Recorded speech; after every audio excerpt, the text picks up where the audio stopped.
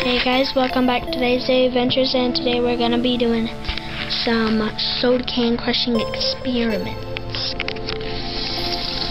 You gotta fill it up with a little bit of water. You gotta heat it up on the stove until it starts to steam.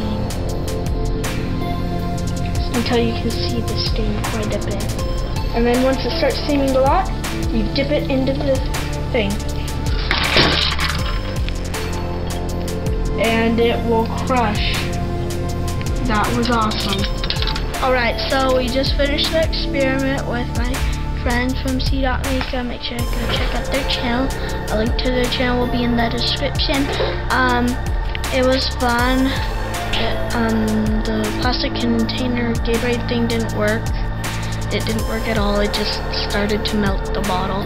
But the we tried the Rockstar can twice. The first time it didn't really work. The second time it was awesome. So I hope you guys enjoyed this video. Make sure to subscribe, comment below, like the video, stay tuned for more videos. Keep on adventuring, stay adventurous, and peace out.